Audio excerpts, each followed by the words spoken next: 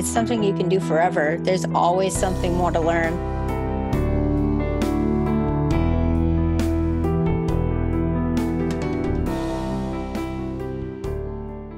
Hey everyone, thanks for coming by. This is Whistlekick Martial Arts Radio, episode 342. Today, I'm joined by Sensei Amanda Cass. If you don't know my voice, you might want to head on over to whistlekick.com and see everything that I've been putting my heart and soul into over the last few years. My name's Jeremy Lesniak. I'm your host for the show. I'm the founder at Whistlekick, and I'm a traditional martial artist, and I love the martial arts. We've got a great newsletter. You can check that out. We only drop one, maybe two issues a month, just letting you know what's going on behind the scenes as we roll out new products, maybe drop some new projects, or otherwise just have stuff to tell you about. Sometimes it's a discount, sometimes it's a special event. There's all kinds of cool stuff that we're doing here, and you want to know about it. So find out at Whistlekick or whistlekickmartialartsradio.com. Promise, not going to spam you. Let's talk about today's guest. As you might imagine, I use social media and I follow a lot of martial artists on social media. And that's how I found today's guest. Today's guest, Sensei Amanda Cass, has been building quite a following on Instagram. Now, there are a lot of people who post things on social media and maybe they build a following, but I don't want to follow them. I might keep tabs on what they're doing, but they don't speak to the traditional martial arts the way that, I'll be honest, I think it should be spoken to. And today's guest does.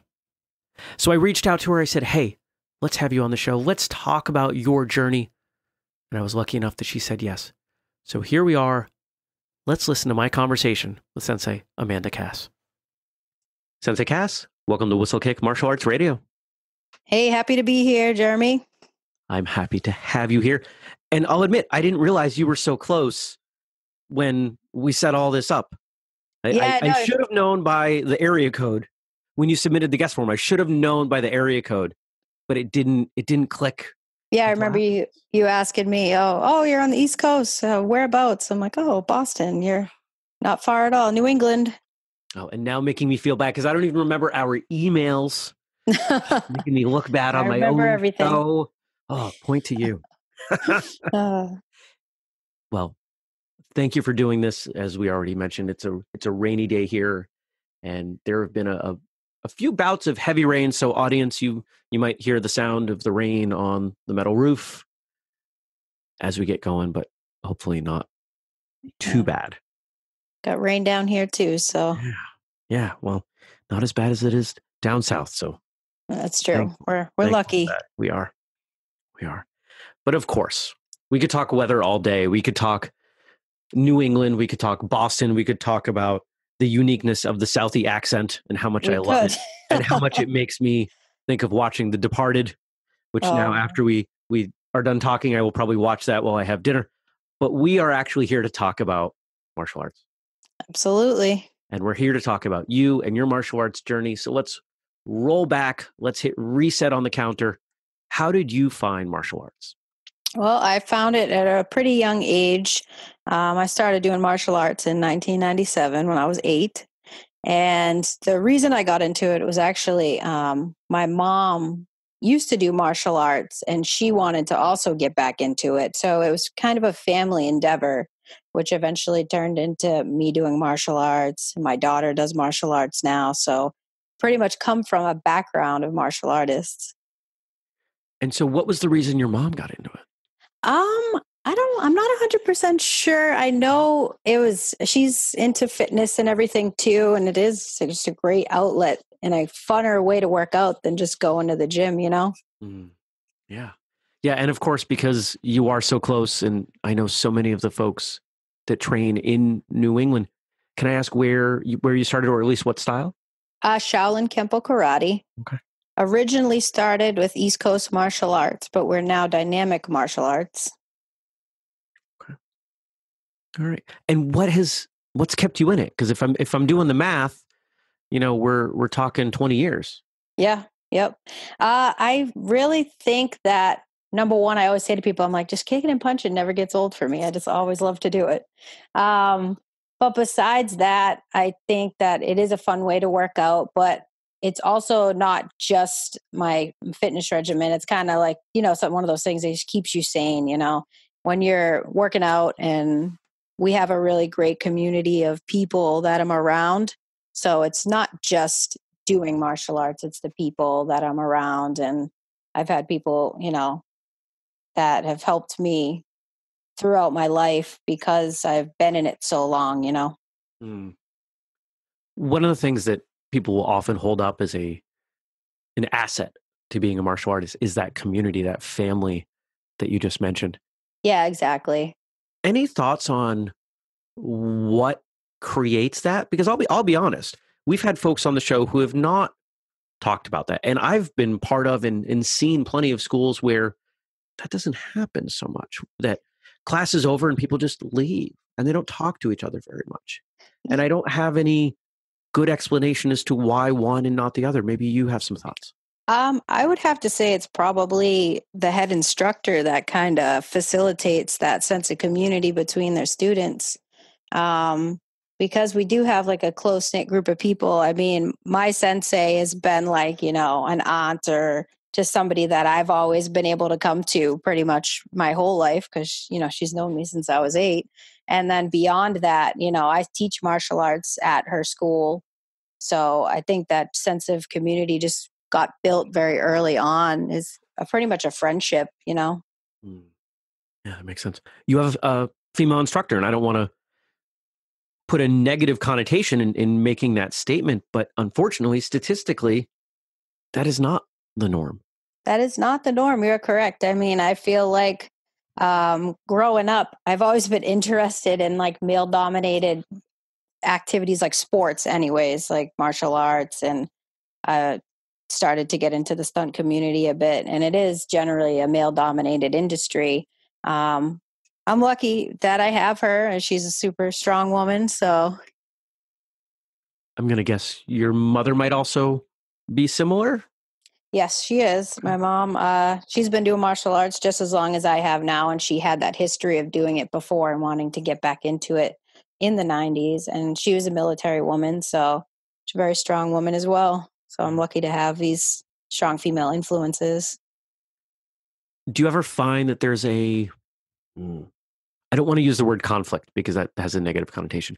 Do you ever find a challenge with you being so willing to embrace your participation in what, what you've called a male dominated space with other women who maybe are less comfortable with that? Um, I don't think so. I feel like a lot of the women that I have met that are into this are also strong women. Uh, I feel like I haven't noticed uh, any issues with it generally. I mean, especially not at our school. Yeah, so much of what you're talking about really comes from the top. It comes from that head instructor and and the culture. And you know, as you're talking about the community and that coming from the instructor, that makes a lot of sense to me. And it would make sense that so much of the rest of the way people conduct themselves, and I would expect who is attracted into the school. Yeah, I definitely from. think that whoever's attracted in is. I mean, you you fit in with this group of people, and I'm people are attracted to people with similar ideals and passions and where they want to go in life, you know? Yeah, for sure. For sure. Now, what has kept you in martial arts? I mean, tw- 20 years and, and, you know, you kind of, you, you hinted at this, but it's such a big subject. It's such a big deal that I don't, I don't want to gloss over it. It, you know, it you is. started as a kid and you started, yeah. I think we could probably say, not so much at your own idea. You know, it was, it was your mother's idea. It was to get you in. Yeah. But somewhere along the way, that changed because you're still going. You're clearly an adult. Yep. And now you're doing more than you have to because you're teaching. Mm-hmm. Absolutely. Uh, I would say one thing about martial arts that I always do say to people is it's something you can do forever. There's always something more to learn. Doesn't matter if you've been doing it for five, 10, 20, 30 years, there's always a new avenue you can explore because not only is there one style of martial arts, and even if you do do one style, it takes so many years to learn the fundamentals behind that style, but there's so many new ways to discover martial arts again. whether it's competing and getting the feel for tournaments or um, doing live sh- shows where people learn fight choreography or film. Uh, there's so many ways to be a martial artist and enjoy doing what you do. Fully agree. One of my favorite things about the martial arts is that there are a lot of ways to participate and do things that work for you. It can be competition, it can be hyper traditional training in a class, it can be tricking, it can be stunt work, it can be more. I mean, I'm, absolutely, you could keep going on and on. Yeah, the list is endless. We could talk all day about the list, and uh, that's what's awesome about it. You know. Now, for you, if you were to order that list, what would your top few things be? You mentioned you're starting to get into stunts, but what else really resonates for you?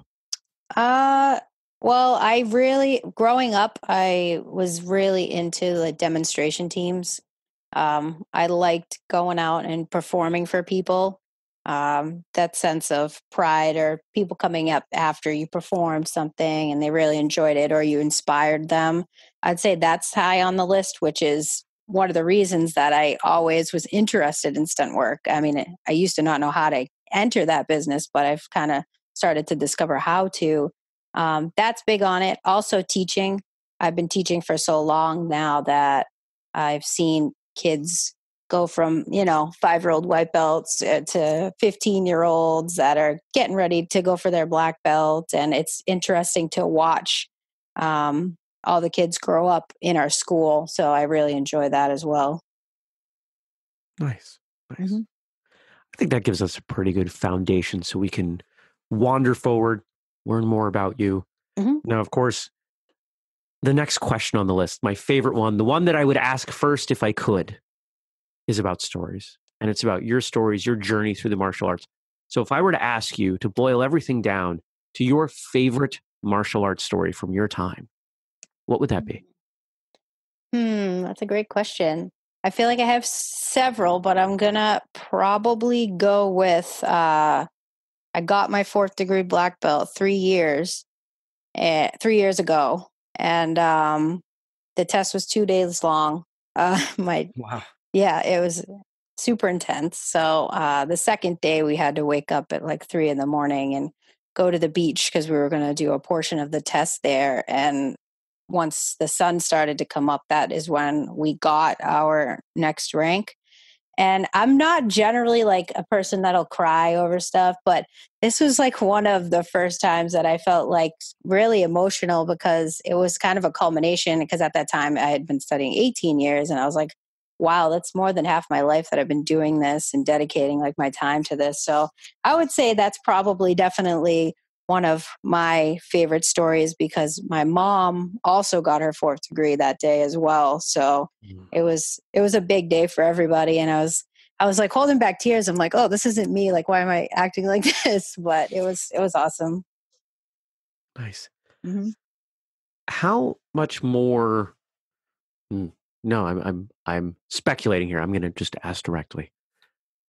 Does it mean more to you participating with family Oh yeah, definitely. Okay. My daughter is now uh, she got her green belt with brown stripe and she's 10 and uh, she is pretty much obsessed with it like she doesn't want to miss class ever we were on vacation last month and uh, she had to miss a class she's like well i don't really i don't know i don't want to miss a class i'm not i'm like it's okay to take a break so there's three generations of you in there yep do you teach her i do yes uh, well my teacher teaches her as well. I also teach her um, when I run classes. Is that difficult? No. Uh, initially, when she was little, paying attention was super hard for her, but now she's so into it that she just wants to progress and she's like hyper focused when she does it now. It's great. It's fun to watch. It can be hard in some schools. And to be frank, I'm speaking from personal experience, participating in martial arts with family especially when there is a power difference, a, a rank difference, I guess. Yeah. Is the best way to put it. You know, is there ever a challenge with your mother where, you know, she's your mother, she's always your mother, but you're the same rank? Yeah, yeah, no, you're right. Um, I don't think so. Um, I think that we're both we both kind of know where we stand and I always say like everybody has their strengths and their weaknesses within their martial arts. So um, that's something I I always like pay attention to like if I'm really good at something and somebody's not or if I struggle with something and someone else is better at it, you know, you kind of swallow your pride and you're like, "All right, I'll take the help." You know, you don't need to just because you're the same rank, you don't need to feel like you should be equivalent in every aspect of what you're doing. Mm. Now, there is a topic that gets some people riled up the idea of what a certain rank means that when someone reaches whatever, whatever rank, whatever belt, that there should be certain standards. And I think we all agree that there are standards, but how those standards are implemented, especially when you have dramatically different people Yes. training in martial arts. Oh yeah, Now- absolutely. Now, I don't know if you have say over promotion or, or, or even any influence in promotion at your school, but is that something that you've thought about? Is that something you have a, a an opinion on? I do have say over promotion in our school. I do help with um, tests qu- quite frequently, depending on um, our black belt tests don't happen as often as our underbelt tests do, but I do help with uh, testing. And I think, you know, with martial arts, you're going to have the phenoms who can kick and punch incredibly. And then you're going to have people who you maybe struggle in that department. And I think that a big part of it is showing up and making sure you're you're coming to training and putting your best foot forward in order to progress and go through the ranks in martial arts you know i don't it doesn't help for anybody to be lazy when they're they're trying to move up through the ranks or gain a skill or knowledge on what they're doing hmm. Makes lots of sense. yeah Alright. Now, other than martial arts, you know, and it, it's clear that that is a big chunk of who you are and absolutely the hours in your day.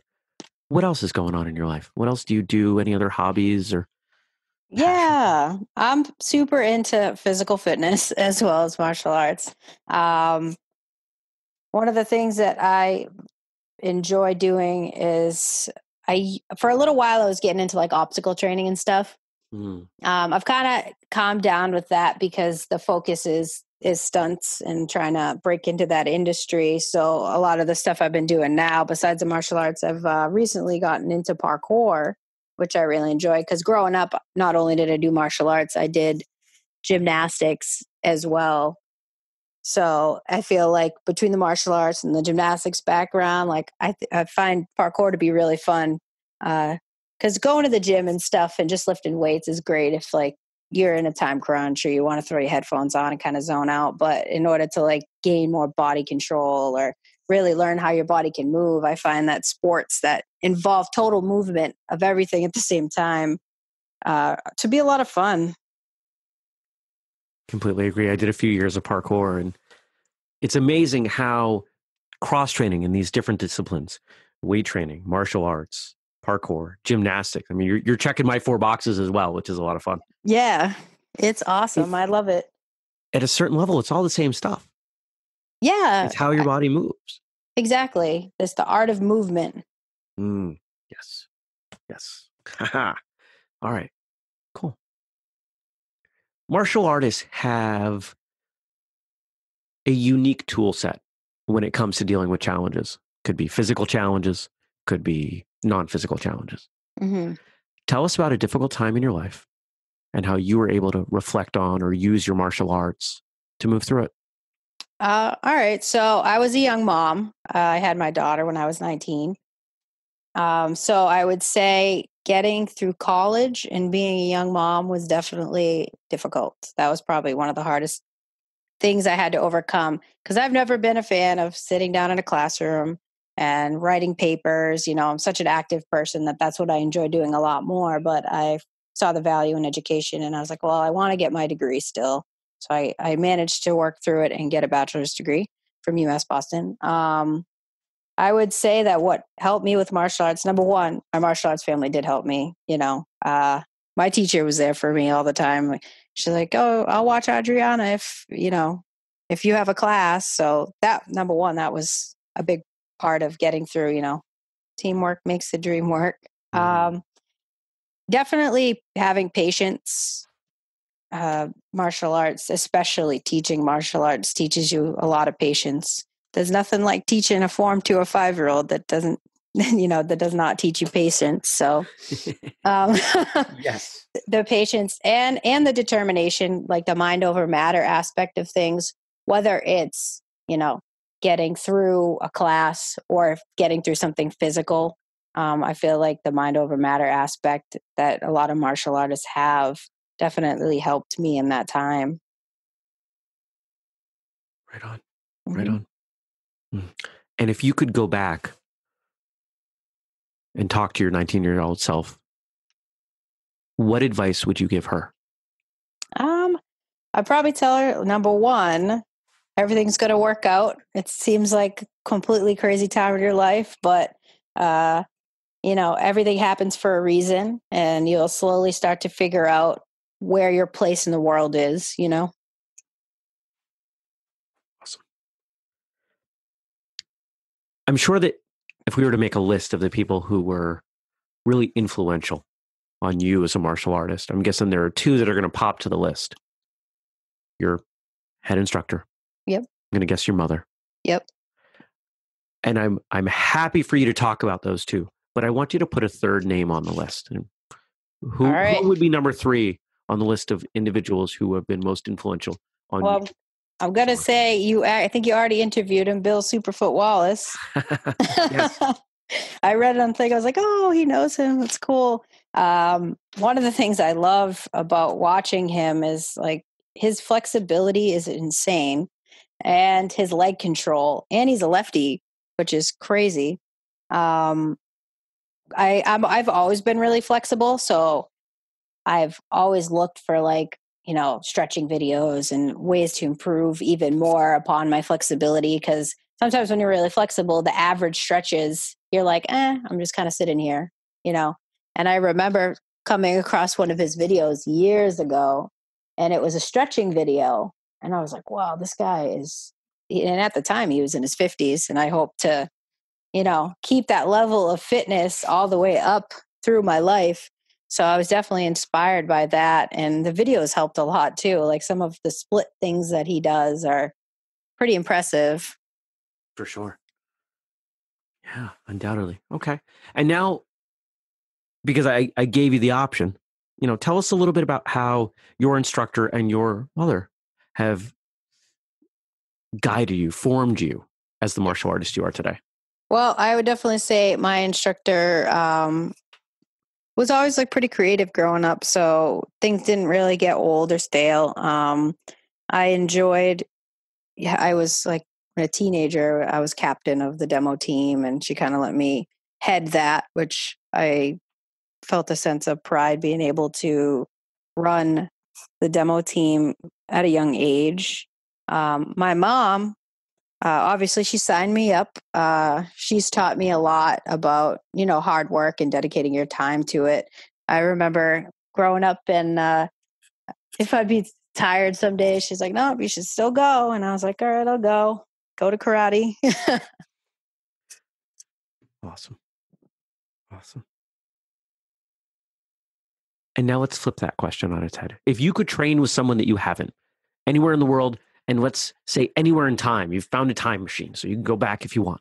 Mm. Who would you want to train with? um, I would have to go with Jackie Chan.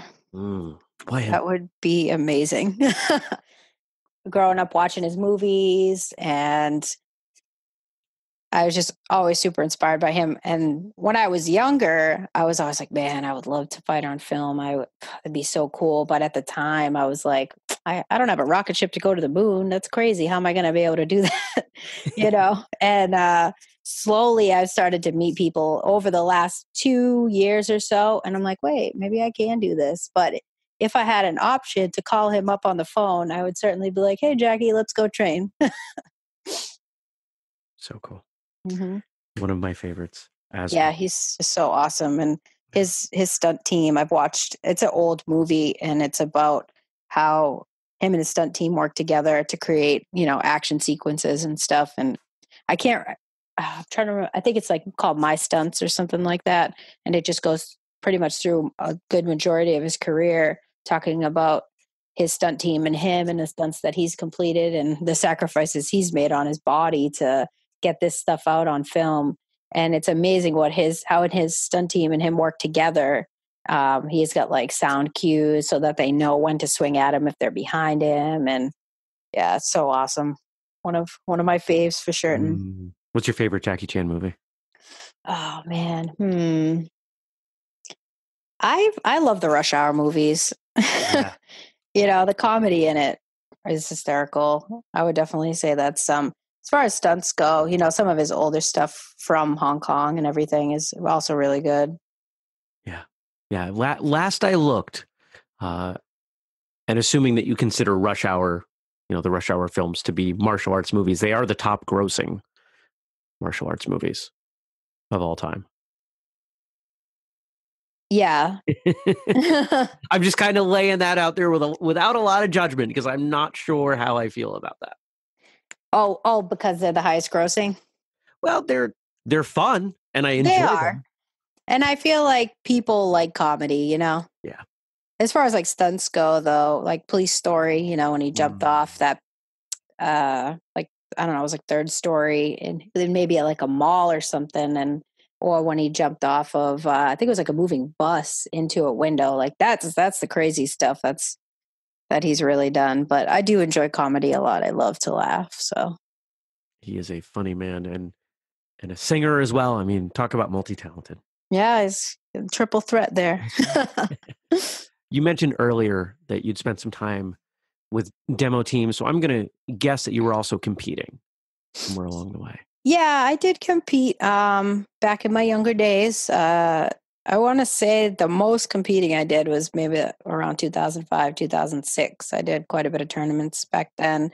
Um, our school doesn't is it doesn't force anybody to do a million tournaments. I know there's some schools out there that are like strictly tournament based, and that's great. Um, but we don't always make people do that all the time. We do make people compete. But at the time, I kind of got interested in that through a friend who was starting to go to some more tournaments. Um, I did the Quebec Open, I did the Twin Tower Classic, the US Open. I did a whole bunch of stuff that year because I just wanted to get that exposure and uh, be put out of my comfort zone. Mm-hmm. Mm-hmm. I understand that. And what did you learn from your time in competition? Um, it's a good question. I mean, I think mainly like what I was saying, being put out of your comfort zone is always good. Uh, it definitely teaches you stuff for the future because the only way to grow is to be, you know, put out of your comfort zone. I mean, I really enjoyed uh, traditional forms and sparring. Um, and one thing about sparring that I always found interesting, which whenever I would go up to spar versus forms, forms, you know what to expect. You're going to go in front of the judges. You're going to do this thing you've already created. But with uh, sparring, especially putting you out of your comfort zone, you never know who you're going to be going up against at any tournament, you know. And I'm short, I'm small, I'm five foot one. So it was always interesting to compete against some tall people for sure. Let's talk about the future. Mhm. Something tells me that you're someone who spends a lot of time considering what's what's going to go on in the next few years, maybe even few decades. You're you're a mom, and there's something that I know of moms. They tend to spend a lot of time thinking about the future. Yes, I do. I do spend a lot of time thinking about my future, my daughter's future. Uh, for me, um, one of the things I do for work outside of the stunts and the martial arts and stuff is uh, I work with kids who have autism. I do in home therapies, um, which I love, and I am thankful to work with some awesome families. But for me, I know that the future is definitely in building my social media platform as well as my stunt career. That's really where I want to take things because, the, like I told you before, the stunt thing was a, initially started as a dream. Me saying, "Wow, how cool would that be?" As a kid growing up, pretty much my whole life, and now that it's slowly starting to take shape, it takes a lot of work you know, a lot of networking, meeting people, being friends with the people who are already doing it. One of the things I've always said in my life is the only way to do something you really want to do is to find the people already doing it and join that community. And luckily enough, I've been able to slowly start meeting the people doing what I want to do. So I'm hoping that that shapes up into, you know, a great career for me because I always have done martial arts my whole life, as we talked about, you know, 20 over 20 years now. And I kind of explained the story to somebody. I was like, man, I it's like I didn't know what I wanted to do in my early 20s or my mid 20s initially, but it's almost like I always knew. I I always knew it would be martial arts. I just didn't know how it would be martial arts. So the fact that things are starting to shape up and I can take that road to do what I love is definitely what I want to be doing. Nice. So now if it's going to be stunts, you know, if that if, if I'm hearing you right, right? That's that's where you're hoping to take it? Yes, stunts and the whole social media, figuring that whole thing out. I've just got to 10K on Instagram, so right. I'm hoping to still build that up as well.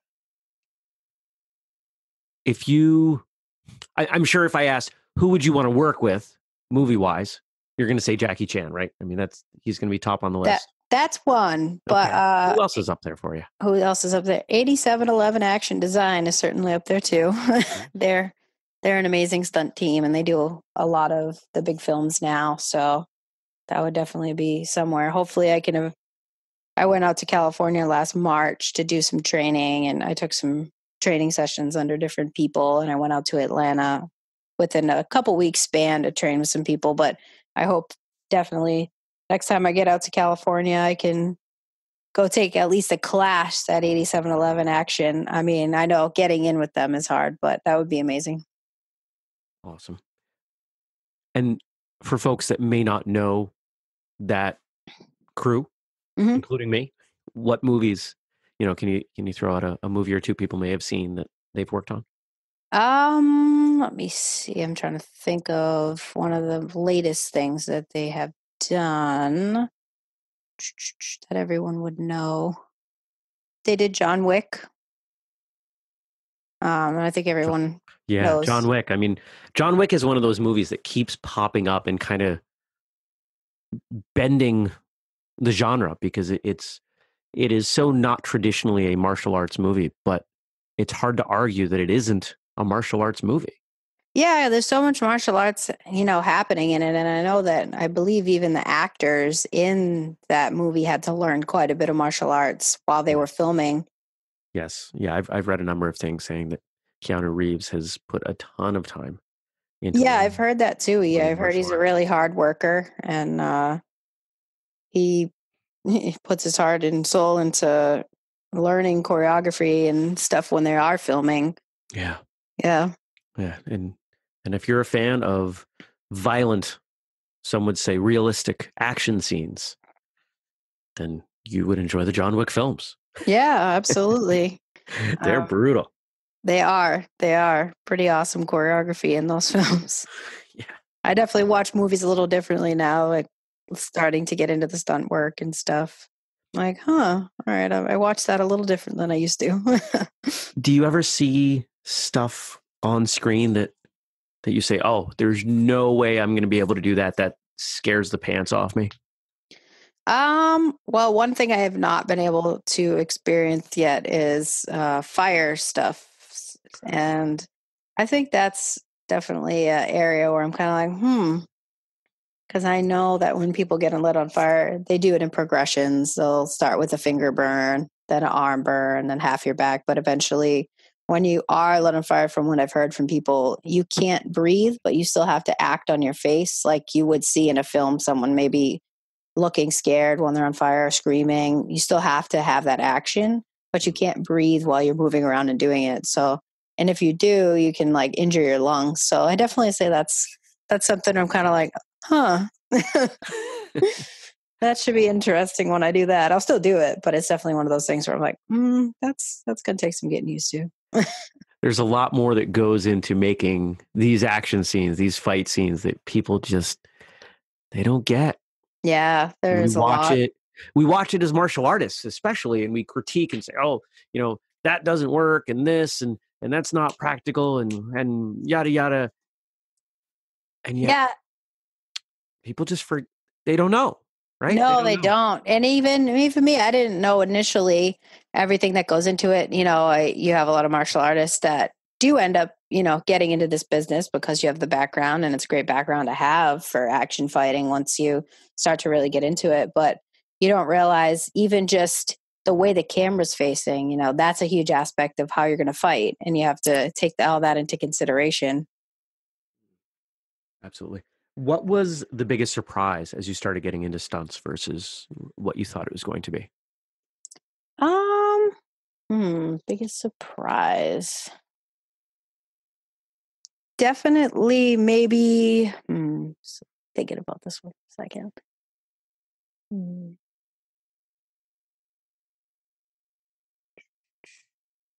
I mean, it is hard work. It is definitely, uh, you know, most people say you got to build the friendships in the business to to make it in it, you know. And I would definitely say, like, the biggest surprise is probably how much you have to network. You know, a lot of some people who are into the acting field are like, oh, don't you just get like an agent? And it's like, nope, you have to put in all the work to meet the right people who are coordinating shows to uh, get into it. So I would definitely say that. If you could have been in any one movie, if you could have done stunts in any one movie that you've seen, which one would it be? That's a good question. Mm, It's my job. it's a great question. You're good at making a question. It's my job. I gotta ask good questions. You do. Hmm. Gosh.